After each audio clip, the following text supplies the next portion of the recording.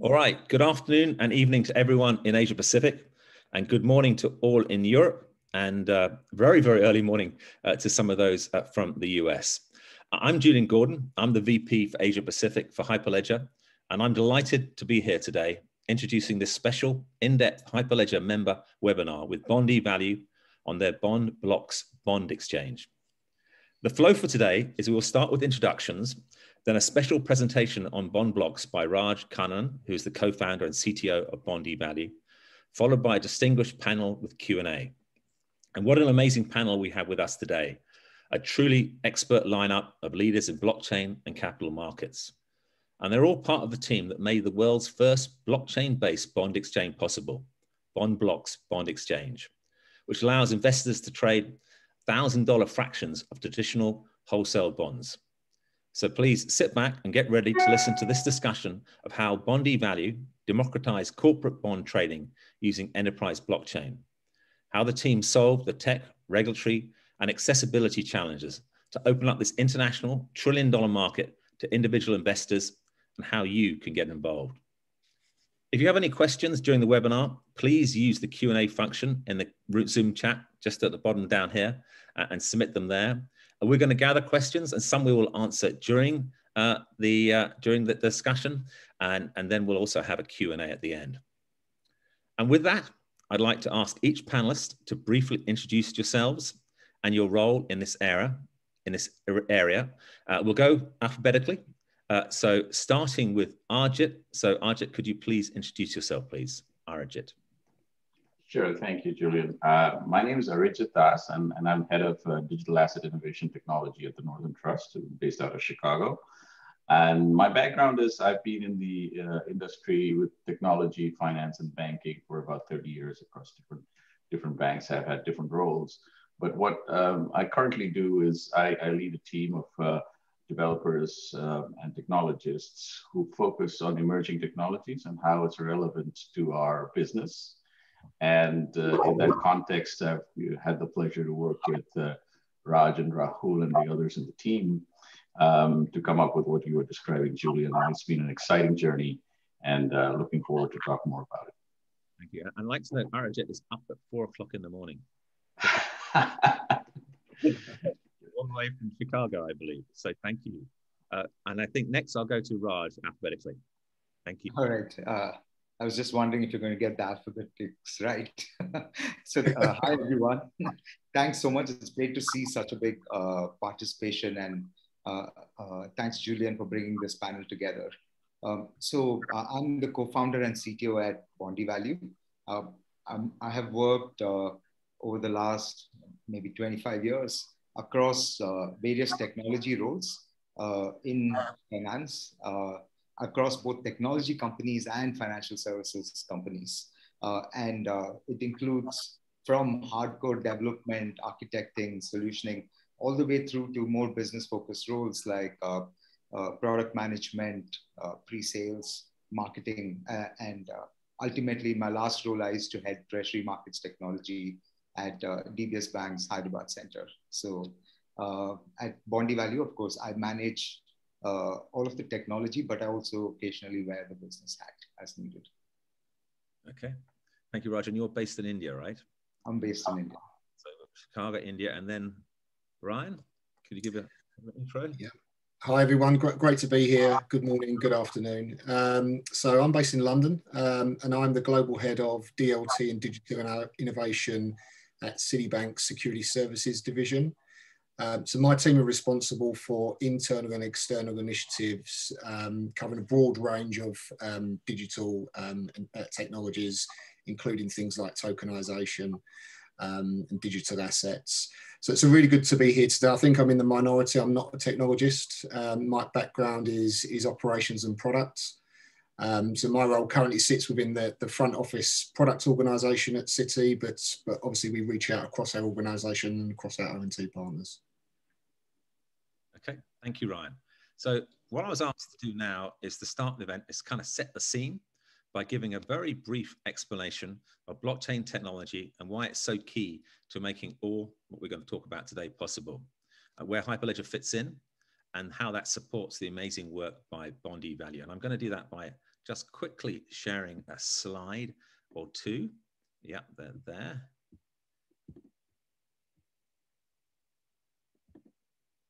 Share that with everyone.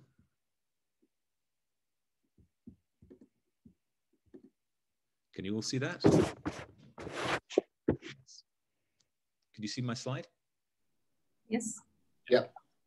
All right. So, um, so on this slide, and, and as I said, I'm going to give a quick brief uh, explanation of, of, of, blockchain technology and, and where Hyperledger fits in and how that supports the work that we're doing today. So on this slide, you can read a very simple description that I think covers all blockchains. Uh, blockchain technologies allow multiple different parties to securely interact with the same universal source of truth that they can all trust. So the key here is trust. Once you have trust between multiple parties, uh, you can create many exciting new business opportunities and you can vastly improve many existing uh, operations.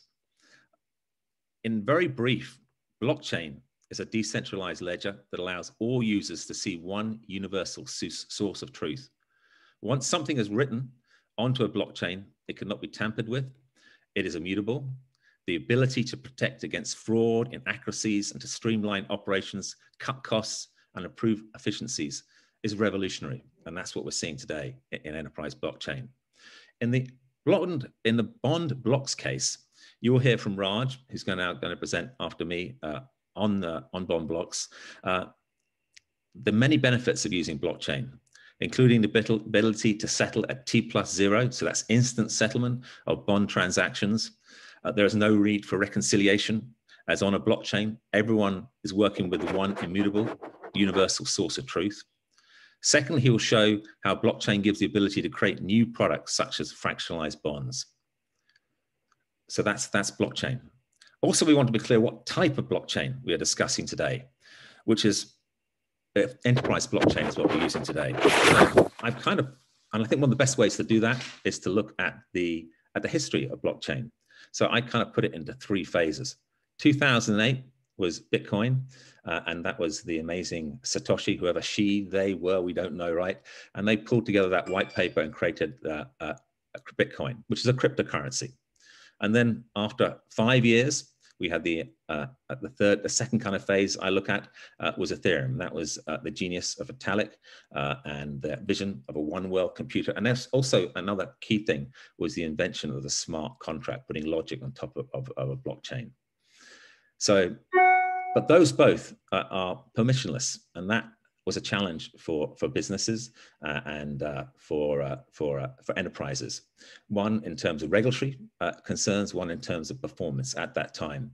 So a lot of uh, businesses, and I was around at that time, 2002, 15, 16, said that we'd like to create enterprise blockchain, which has a kind of KYC. We know who's involved in it. There's no mining, and it's fit for purpose for businesses at that time. At that time, uh, there were a number of, uh, of efforts uh, going, uh, being uh, uh, developed around the world, and Hyperledger became a place along within the Linux Foundation where people came together and started developing DLTs or enterprise DLTs, what we call in permissioned. So it has the KYC, all parties are known, it's in a controlled environment, improves performance, and is, is better from a regulatory perspective. So I just want to make sure we understand we're not looking at cryptocurrency here. We're looking uh, at uh, enterprise uh, blockchain. And I'm just going to show you very quickly. This is uh, all the technologies within uh, uh, Hyperledger. Ultimately, we're an open source software initiative from the Linux Foundation, and we have a number of different platforms. And today we're going to be looking at, at Sawtooth, which you can see up on the top right hand there. So Raj, that was a quick covering of blockchain and, and our technologies and what enterprise blockchain is. I'm now going to pass you over to show how you are using this technology today. All right. Uh, thank you so much, Julian, for that introduction and uh, really setting this up uh, in terms of what's a blockchain and the benefits of a blockchain and the evolution itself, right? And uh, uh, so what I would like to do today is to talk a little bit about the bond block solution, right? Um, I hope uh, you can see my screen.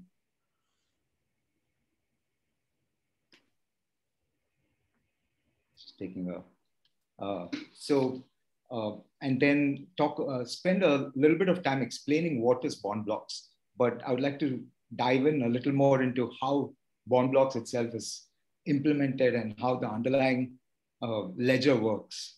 So with that, I'll just get into uh, who we are at BondEvalue. And I, we are a team of uh, bond market experts, technologists, uh, and we are best defined by our vision, which is a world where more investors can trade bonds on the go without restrictive minimum investments. And we'll just talk a little bit about that in a moment.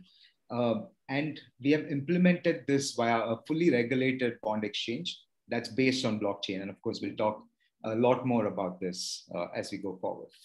So some of the key pain points in the bo existing bond markets. The bond market technology has not changed significantly in the last several decades, even though the underlying uh, uh, bonds uh, have issuances or trading of bonds has exploded like, you know, maybe a hundred times over, right? Uh, trading still happens over phone calls.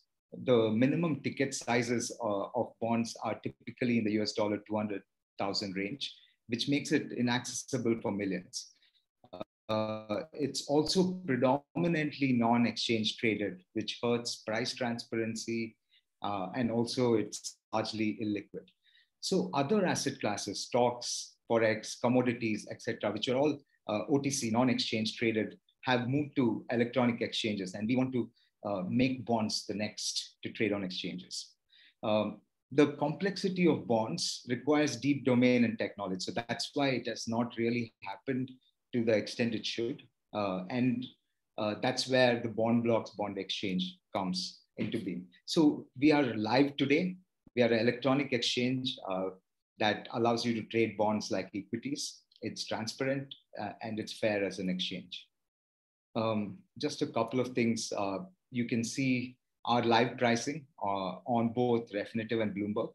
Uh, so it's available on AllQ if you're familiar with that. Uh, there are also dedicated pages that you can find. Uh. so what is BondbloX, right? It's the world's first fractional bond exchange where you can where you can actually trade a minimum of $1,000. Um, we are regulated by the MAS, and uh, we follow like any of the regulated exchanges. We are not direct to consumer. We are not crypto. Uh, we work through our partners, our trading members. Uh, so it's a B2B2C model where banks, asset managers, uh, new B2C fintechs, brokers, market makers, etc., are members. And, and then some of them, like banks or brokers, can provide indirect access. Uh, in order to uh, create, facilitate this market, they can uh, integrate to us via various mechanisms, including full scale integrations to their existing platforms or APIs. Uh, or we also have a very quick go-to-market uh, ability for them using our readily deployable trading applications. Um, we are integrated with global custodians uh, and uh, they act to safeguard all the client monies and assets on the exchange. Uh, so with both Northern Trust and Citi, who, as I'm sure all of you are aware, are, are probably the, the largest custodians in the world. And uh, of course, we're very honored to have Arijit and Ryan on this panel, and they'll, they'll be able to share a lot more of their experience as well. So how does this work? Um, so I, I, wanted to use uh, a couple of examples or exam a couple of the flows that we have to give you an insight into how this works. Uh, how does T plus zero or instant settlement work?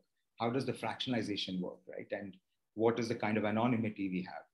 So with that, let me start by talking about fractionalization. Uh, so the fractionalization of bonds uh, conceptually is very much like depository receipts, if you're familiar with it. Um, so if you look at what happens, a market maker who's a member on our exchange uh, can bring in a bond, let's say 200K of uh, a HSBC perpetual bond by transferring it to, to our custodians and, and then the custodians then uh, custodize and safeguard the bonds and they confirm receipt of this to the blockchain, right? So this actually is in the form of a transaction to the blockchain and they just confirm it to their nodes. When, when that happens, I'm just going to segue into what then happens under the hood. So we use Hyperledger Sawtooth. And uh, what then happens under the hood is that the transaction gets distributed to all the nodes in the network. Uh, one of the nodes, we use PBFT consensus. So we've looked at various consensus and PBFT uh, is both uh, uh, non-voting. so we don't want to wait like, like existing exchanges on crypto that are on proof of stake blockchains, right? Where they have to wait, it, it can fork, so they have wait for money to get created. So PBFT has a funny about it's also Byzantine fault tolerance, so it defends the network. Um, oops. Uh, so uh, the node, one of the nodes plays the role of a leader, and this is rotational, and it distributes, it orders these blocks, uh, orders these transactions into blocks, and uh, distributes it to all nodes. And then the transactions are executed by all nodes. So, uh, so it, in a blockchain system, it isn't that one node executes the transaction and just sends the results to everyone. All nodes actually execute, and this is how it is, how it defends itself, right? And how so much more than just uh, traditional databases where data can just get passed across to each other. Um, all nodes then compare results with each other, and a node will then begin to commit only if two thirds of the network, greater than two thirds, have identical results. So it ensures that uh, no nodes can uh, can have, or or a set of nodes if they have uh, changed the way transactions are processed, right? The network can still defend itself against that right? And each node then commits that block to its ledger. So if we go back to our use case, the custodian has passed this transaction. It's gone to all the nodes. Uh, the consensus process has run. And, and then what then happens is that the ledger gets updated and one-to-one back BondbloX are created on the blockchain. So all the ledger, uh, all the ledger and all the nodes update. Uh, and you can see there's an anonymous account uh, for the market maker uh, we don't store PII or anything else on, on the blockchain. Um, and this is uh, $200,000 are available off that bond, but in fractions of $1,000, right? And uh, one of the really cool things about, uh, about some of the blockchain networks, including Sawtooth, is that you can, each node will then send out events. So anybody connected to that node will actually receive that update instantaneously via events. Um, the cash component also works the same way. So if, if a member wants to buy, sell or buy BondbloX, they can transfer cash to our custodians and the custodian follows the same process. The network follows the same process to create that cash holding in their BondbloX accounts. Um, we also allow for uh, bonds to uh, be funged back. So we call it a dual fungible structure. So they can be funged in. And in a similar process, if a market maker wants to take the 200,000 back to the secondary market, they can do so. And the custodian then confirms the transfer to the, to the network and all the nodes update and the ledger is again updated. So we'll take a look also at the trading flow, right? Uh, so in the trading flow, uh, firstly, I've just depicted a market maker account and a, uh, and a member who can be a bank or broker who's allowing indirect access to their uh, clients. So the client now has funded their account with $1,500. Uh, it's all there on the blockchain. Uh, the market maker then places an order and they can they don't need to place a 200k big order they can place multiple orders in as low as 1k uh, the member's client places an order through the member to buy for 1k at, and then the exchange like any other exchange we use a central limit order book and we match orders right and so you'll see that these two orders match. And we then send a confirmation of the trade to the blockchain. So in today's market infrastructure, typically these confirmations, they take, they have to be sent to multiple participants because every participant maintains their own set of records uh, and so on. And uh, it, it kind of takes a long time for all of that to reconcile and process, which is why you end up with that T plus two settlement. Uh, the magic of our setup and the underlying blockchain is, is this, right? So once the confirmation comes in, uh, the ledger and all the nodes update via the same consensus process and transaction execution process. The settlement is instantaneous because we, all of us have the same single source of truth. And uh, immediately the market maker's account and the member's client, uh, member's client account shows those updates. Uh, and uh, as always, the, blockchain can efficiently communicate this out instantaneously via events to all participants. So the member within a few seconds and the market maker within a few seconds can, can see that um, on whatever interface they're using to connect to the exchange. Right. So from our perspective, the blockchain basically provides, uh, and I and uh, uh, Julian had spoken about it. There's the single source of record, but it's just the way that single source of record, which is distributed securely, it is processed securely, it's immutable, etc. And uh, you know, for us, we also found that it's really super efficient uh, way of communicating the transactions, changes to the uh, ledger to all participants. So, of course, the benefits it improves efficiency, it increases trust, and uh, therefore it reduces reconciliation efforts, resulting in that T plus zero settlement. Right? Uh, it also enables new models of execution. So we just saw the fractionalization um, flow as well. So with that, I, I, I, wanted to talk a little bit about the challenges of doing this. Uh, proof of concepts are easy, right? It took us maybe a couple of people, a couple of months on the outside, right, to learn something new and set up something, try out a couple of transactions, see how the ledger updates. Uh, and typical small proof of quick proof of concepts will, uh, will result in you figuring out whether it's uh, how usable it is, but uh, it really it's not usable outside of the proof of concept. Uh, production is really hard, right? So why, why is production hard? What you want is this screen. What you want your clients to experience is something like this, right? Uh, in order to achieve this, you you need to uh, uh, you need to follow all the good other good practices that you follow for your other applications. So you need to be able to uh, have the application have high availability, have monitoring, um, you know, be able to deploy updates to the application itself, and so on and so forth, right? Reporting. Uh, so what we have done to achieve this, and this is where it, it then took us, let's say, a couple of dozen engineers, like a year and a half to get there, right? is uh, is to build this, and we use uh, you know we use cutting edge serverless technology on top of our blockchain network to, uh, to synchronize it with external uh, databases, to combine data to provide uh, uh, you know, rich, yeah, very uh, enriched data to the front end. and all of this from the back, all the way from the blockchain, all the way through to the front end is all event driven. So you get things as and when they happen instantaneously. So what are some of the challenges and lessons learned? Um, I, this is something that's really critical. This technology paradigm is still new, right? Um, uh, oftentimes today with a lot of tech, newish technologies, some of them, we say technologies are new, they're five, six years old still. So, uh, so if you take uh, on the front end, you take React.js or you take Node.js or you take Java, right? You can just go to Stack Overflow and you find almost all kinds of solutions, right?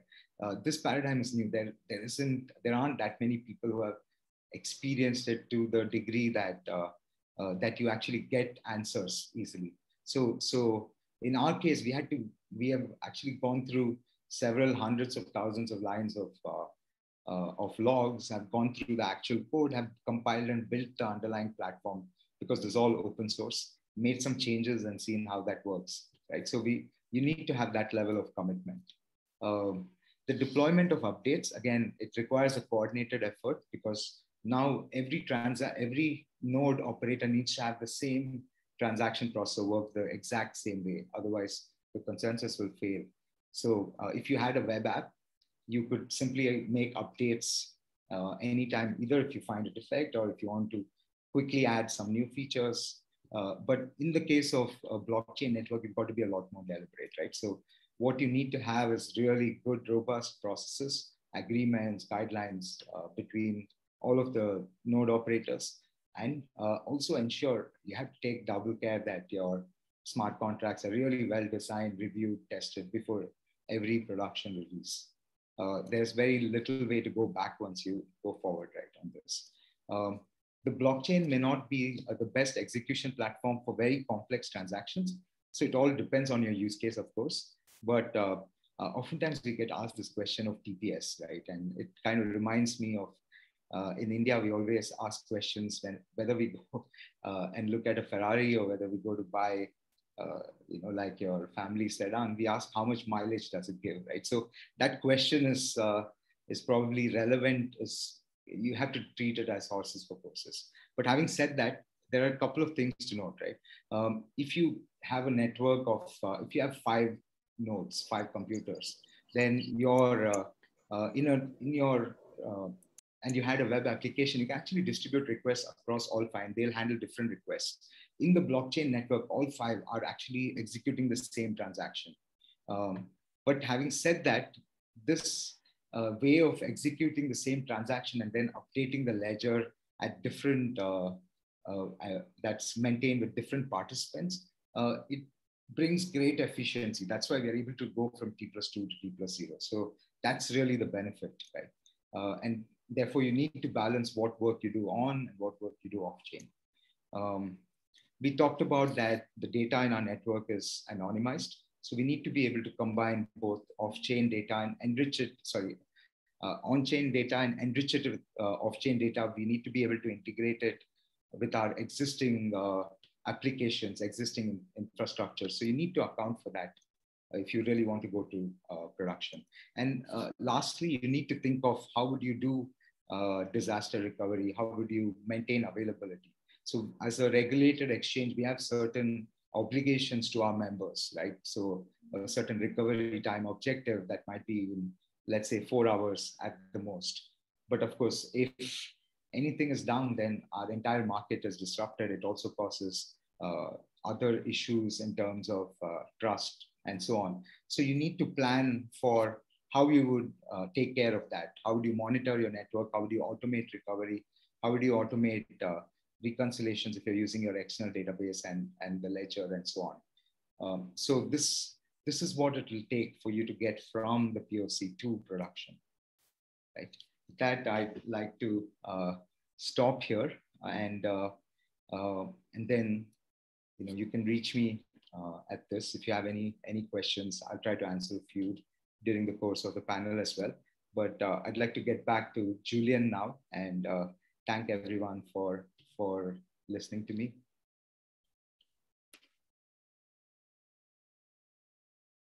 Julian, over to you. I'm on mute. Exactly. that was a great, great presentation. Thank you. The challenges, opportunities while using uh, using Sawtooth, um, and that, that was really, really, really good. Thank you. Uh, so now what, the, what we're going to do in the next 15, 20 minutes. We've got we're going to talk to the panel here, uh, and then we're going to take some cue. I see a bunch of questions coming in, so please continue those questions. Some of them technical, some of them business, please, and, I, will ask the panelists those questions as well. But I'm going to first start with, um, uh, and I think I'll start with Arijit because he's he's more fresh and early than all of us. So, where do you see a blockchain being imperative in proving in reinventing the financial infrastructure? It's kind of like what we're doing uh, that BondEvalue's done. Yeah, thank you, Julian, and uh, excellent presentation, Raj. That was uh, that was great. Um, so yeah, blockchain, uh, as as we in the financial industry all, all recognize, is probably a, a, a game-changing technology. And, and we first got, from Northern Trust point of view, involved in this uh, five plus years ago, uh, when we began to recognize that you know you you're, you have a technology which gives us the ability to to share information, but also share operational processes in, in, a, in a trusted, immutable manner across various parties. And if you really look at a macro level, financial institutions really do that. They they have established operational procedures, they have data, and they share that amongst different parties. And because traditionally these methods of sharing has had to have a reconciliation uh, layered on top of it and, and other operational processes, it, it, has sometimes been cumbersome. But with blockchain, we recognize that, that there, there's perhaps the ability to do that uh, very efficiently with the network itself. So um, having recognized that, we, uh, we made our first foray into this blockchain world with, uh, uh, with an application in the private equity space. And then we used Hyperledger Fabric um, to develop that. This was, uh, uh, I don't remember exactly, but five, five or so years ago. We launched it live with, with, uh, you know, private equity funds. And we leveraged this capability of blockchains to bring some efficiencies into the capital call process for private equity funds. Um, since then, obviously, lots of different things have happened. And, and when Raj and Rahul came up with this fantastic use case for blockchains, uh, we were very excited uh, to be part of it. Uh, but coming back to your question, the, the, fundamental disruption that we see here is, at least I see uh, here, is that um, you, for the first time, you have the ability uh, for different institutions and participants to trust the operational processes without the need for a central party to, to endorse it. So once you have all the different participants agree that they are going to um, operate on a certain set of data uh, in a certain way, and that is distributed across the network, the, the role of the central party is, is, is somewhat diminished. And that gives rise to lots of different ways in which we can get operational efficiencies. We can, we, we do not, we do not have to uh, spend so much time and effort on reconciliation processes.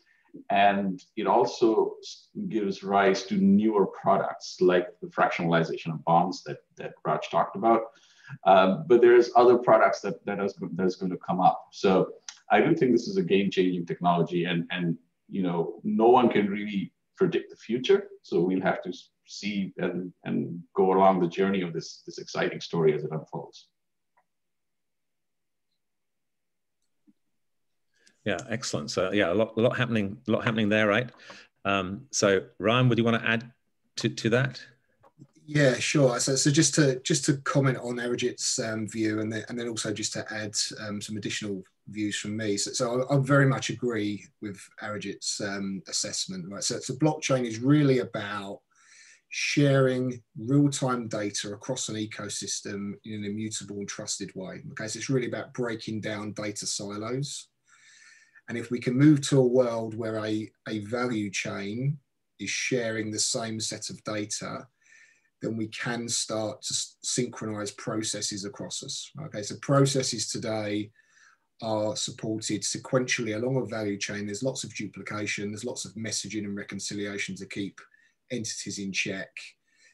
It's feasible that actually those workflows could be deployed centrally onto a um, blockchain, and each of those entities enrich the transaction um, uh, in line with their own service provision. So that's a really, really interesting concept. Clearly, that can speed up informational flow, speed up settlement as we're seeing in BondEvalue, but also make the end-to-end transaction lifecycle significantly more efficient as well. Um, just to add a couple of additional thoughts. So um, one use case of blockchain is tokenization, as we're seeing here with BondEvalue. Um, and and are really leading the charge here with regards to bonds. But that that concept can also be extremely interesting for other asset classes, things like alternative assets, private equity, for instance, that have significantly longer and less efficient transaction life cycles. So there's a really interesting near, near-term opportunity to, to make those kinds of investments significantly more efficient. And I think the final thing I'd add here is that um, the way blockchain is being deployed in some use cases is it effectively creates a always on 24 by 7 cross-border network. Okay so this has the potential to really change market structure um, and it's it's feasible that in the medium term we could start to see markets operating cross-border 24 hours a day and settling same same same day maybe even real time. Right? So that, that, that's a really interesting concept. This is not just about investment flows in country, this is cross-border investment flows. And, and it could really have a revolutionary impact on all of our business models. Yeah, I, I think from what I see, multi CBDCs seems to be the thing, right? This is going to be the wholesale CBDCs could revolutionize how settlement done real time. There's a lot of work almost done here at HKMA but MAS is also working on that. So, yeah, a, a, lot of possibilities. So, what what do you think, Raj? Do you want to add to that? Any any thoughts yourself there? I think uh, I think both uh, Ryan and uh, and Arijit have covered it. I, I, think some of the use cases that we talked about are totally enabled because of uh, the, the power of this framework, right?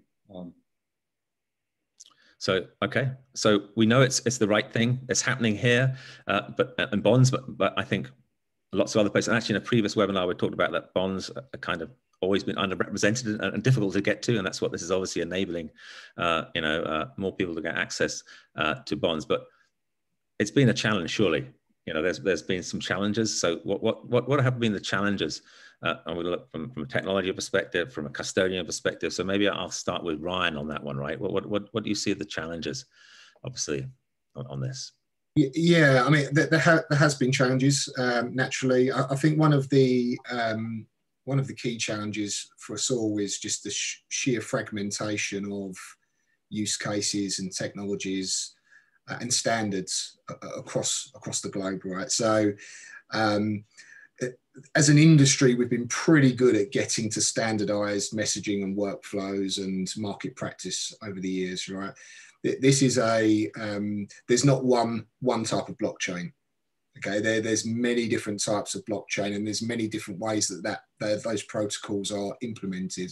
And then on top of that, there's many different market practices and standards that, that, that define how that network is used, right? So what we're seeing is we're seeing a huge number of use cases with a, a large number of um, uh, implementation types, a large number of protocols, and that can be quite daunting, right? So, that, so certainly for, for investors that that might just want to get access to the asset and, and are not really um, that concerned by the technology, right? So I think the um, the challenge for us all is to uh, certainly as, as service providers is to really try and abstract that complexity and build solutions that connect our clients into those markets in a scalable and streamlined way. Uh, and, and potentially make them backward compatible as well. Okay, so if clients do not want to change how they communicate, they do not want to change the formats they use, um, then they should be able to continue with them, change in their own time, but still get access to the market. So I think that's really key to ensure that we can minimize the barriers to, to adoption and allow, allow these new networks to scale. Um, I think the other thing I just highlight here is just regulatory uncertainty. Okay, so I think um, uh, naturally regulators are um, interested in anything new. Um, what we need to try and differentiate here is is the is the asset class and the services that are being provided from the technology itself. Okay, so so clearly, if the asset class is new, if the service is being provided are, new, that should require an in-depth regulatory dialogue.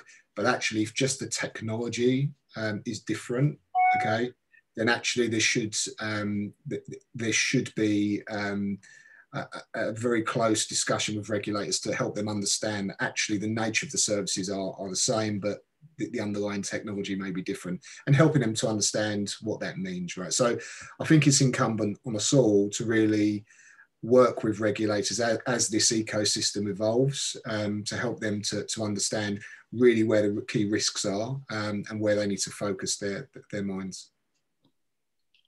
Okay, I think the regulator is key and I think we'll talk about that maybe a little, you know, this went through a sandbox.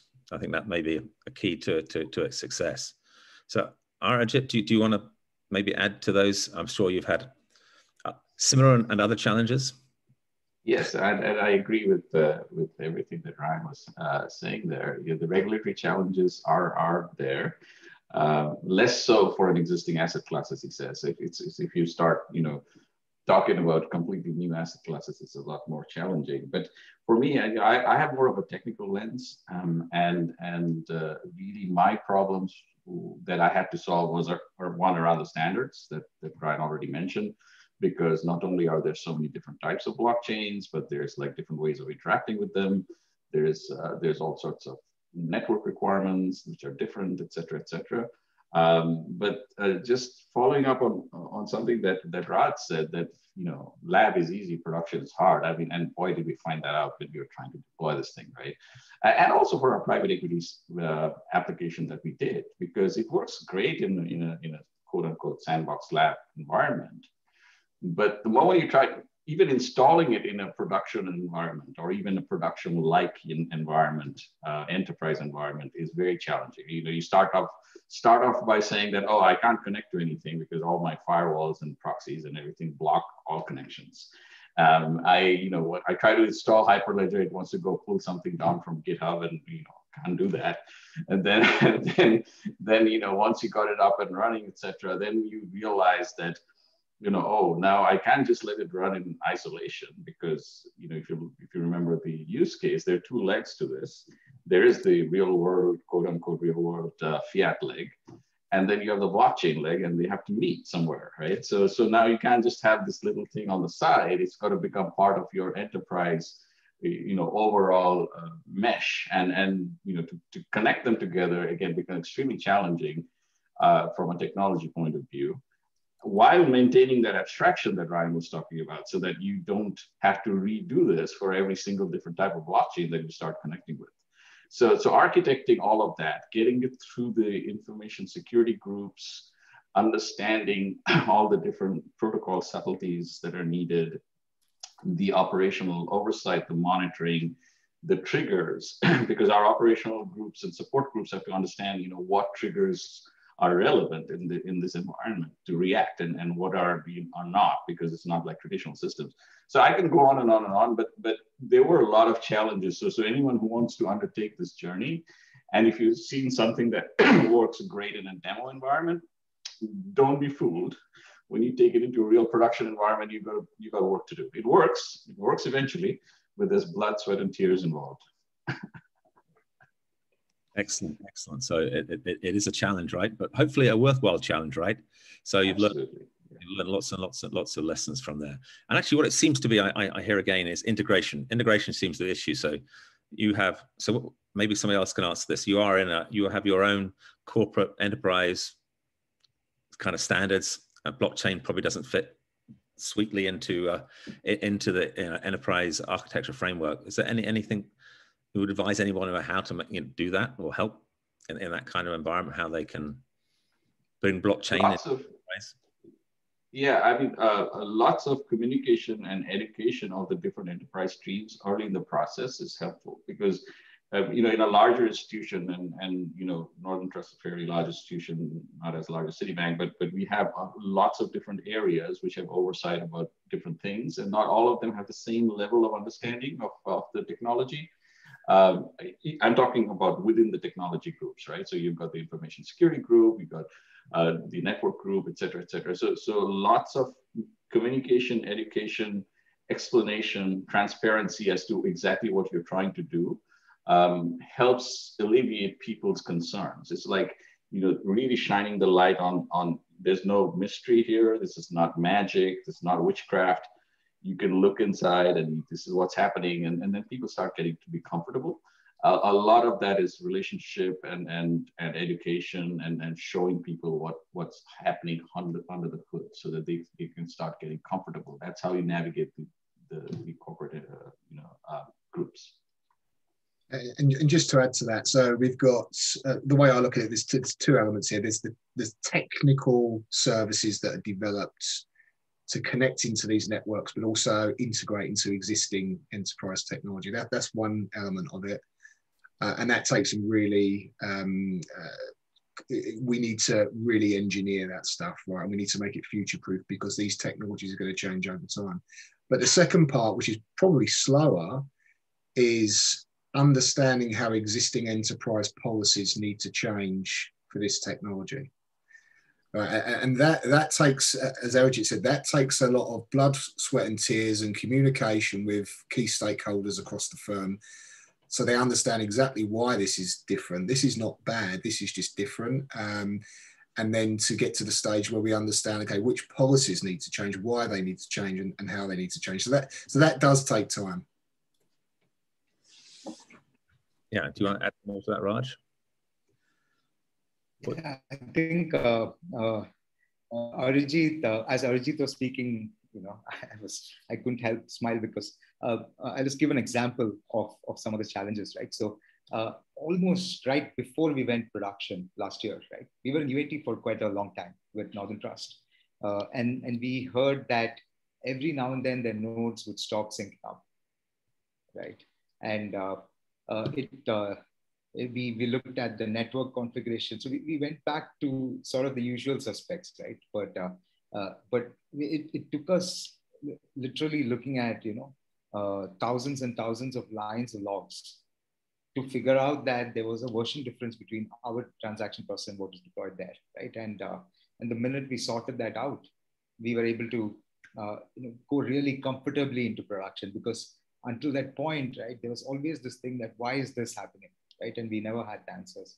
We really had to dig in. We really had to go and look at what Sawtooth itself was doing. We had to look at what we were doing. Uh, ultimately, just reviewing the code and uh, sorry, the the logs and uh, you know, these are logs that are really hard to read, right? Like, mean, because they're voluminous and uh, you really need that volume of logs to have the level of detail you need to dig in. Uh, so that's that's that's an example of of some of the difficulties. You know, in many other cases, like I said, you can just type into Stack Overflow and say, you know, this is what is happening, and you get five answers, and you'll, you'll be able to figure out. But in this, there are no answers in stock, uh, Stack Overflow or any of the other forums yet because this requires that level of experience and you have to go through the blood, sweat, and tears that uh, as you talked about. Exactly. This is all new, right? There's no new book. There's no book to refer to, right? Yeah. We're all learning as, as we go as uh, we go along, right? Yeah. So, so actually, I think we're going to go to the Q and A now. We have about ten minutes left. Uh, so actually, if you guys want to have a look at the, uh, the, the panelists at the questions, but I think I think one is, it seems to come up is specifically maybe we talk specifically, you know, what which bonds are what kind of bonds are now fractionalized on BondbloX? Right. Um, so uh, so as on now, uh, we we have uh, we are looking or we have fractionalized a number of bonds that are largely uh, investment grade. They are US dollar or Sing dollar issuances, right? Uh, uh, we have about 20, I think, at this time listed. Uh, but we keep listing continuously every month. And, uh, and, and we have a certain uh, criteria for the type of bonds that can be listed on the exchange. So we do not, you know, we look at, we look at bonds that A are, are, have a reasonable level of liquidity in the second mar- secondary market so that they, they are available to our participants on as needed. Uh, and we also look at uh, you know the investment, uh, the creditworthiness of the issuer, uh, the kind of issuance, obviously the currency, the sector, and so on and so forth. Uh, and we continuously keep uh, adding every month, right? So our goal is to have maybe 100 bonds of the top bonds listed on, on the exchange over the course of the year. Another direct question is how do they go and how do they go and see it? I presume they can, there's a demo on site online and they can just uh, to see the bonds or to see a demo of our uh, application. Yeah. How do you how do you trade? How do I how do I how do I want to trade? How do so I I've, I've, I've, just posted an answer. Uh, okay. You can reach out to me, and of course, we will make uh, some of this available uh, to experience uh, over a period of time on our site. But uh, anybody interested can reach out to me. So I've, I've, just responded with my ID and reach out. We'll organize a demo for you. Actually, an interesting question here is this It's obviously an operations play and and and it, and it creates new opportunities. But is there any how does it affect liquidity? Will it help liquidity, or is that not known yet in in, in bonds? Uh, maybe I'll take the first stab at this, right? So, uh, so certainly uh, operations and settlement efficiency is one of the benefits, which is the T plus zero. But uh, if you look at it, uh, we spoke about many of these bonds being uh, at a minimum trade lot, trading lot size of 200K, right? And uh, on the exchange, you can actually trade them, buy them at $1,000 minimum, which we believe will actually significantly increase liquidity as well. So uh, uh, also other factors, right? It's exchange traded. You, you know, you as a client, you don't have to trade over the phone call. You can see the price, so you can make decisions. You can click and buy. Uh, so I think all of this um, will exchange, uh, will increase liquidity. Okay, now now the question that they're all asking is how does this compare with why do you not choose Corda or Fabric or other DLTs? Was, was that why why why Sawtooth? Um, so uh, good question. I think uh, Uh, so on the every blockchain has its own advantages, has its own disadvantages, has its own uh, has use cases that are uh, suited to that, right? So if I take something like Corda, for example, uh, then Corda is a blockchain. It is it's very peer-to-peer in the way it works, right? So so if two participants want to exchange assets, they they actually each sign that contract, and then uh, and then the uh, you know there's a note network of notaries that will then ensure that uh, uh, they're not burning more, uh, you know, thing, burning more assets than they have, uh, and then and both of them then can settle that. so there is it is it's very peer to peer. It's very for me it's like how the OTC markets work in a way, right? So. Um, uh, for an exchange uh, traded, we needed some uh, a blockchain platform that will allow us to have this all-to-all kind of platform, right? So you're not going peer to peer. And, and uh, so the Hyperledger family in general accomplishes that. But uh, Sawtooth, just to talk about Sawtooth, right? Why we chose Sawtooth, I think we're also lucky on a couple of fronts on Sawtooth. A, it went to version one, which is so when it starts getting somewhat stable. At the time we started working on it, uh, and then PBFT on Sawtooth also came out around the same time. Uh, but fundamentally, Sawtooth is uh, uh relative to many of the other blockchain networks, it's very simple to uh, simpler to deploy, right? It's got only one node type. So, I mean, you don't have to fight about what kind of nodes you uh, uh, you're going to install and allocate to whom, but also that uh, uh, one kind of node and there's one point of connection to other nodes.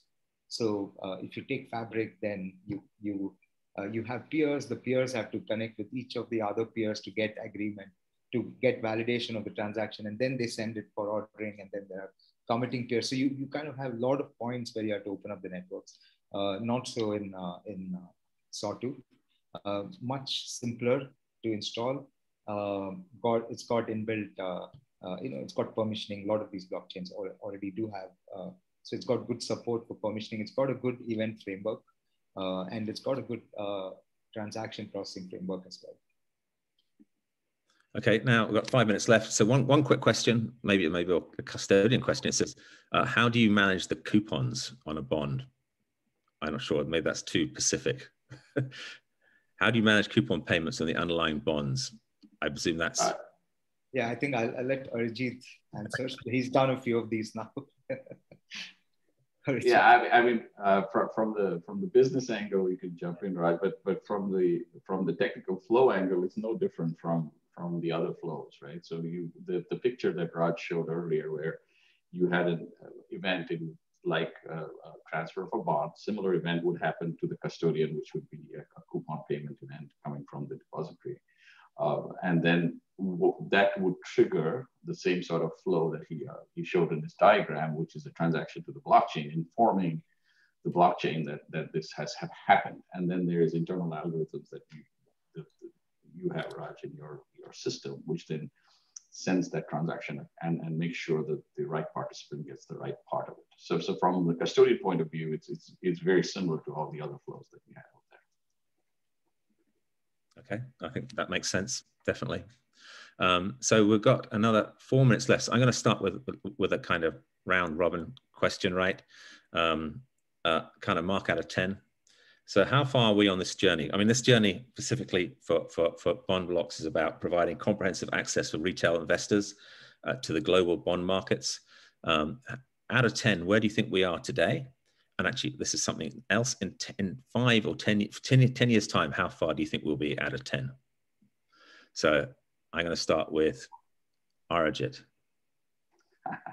so specifically for, for this use case, um, yeah um, and in, in blockchain in general, I would say we are we are at a one because we are just getting started.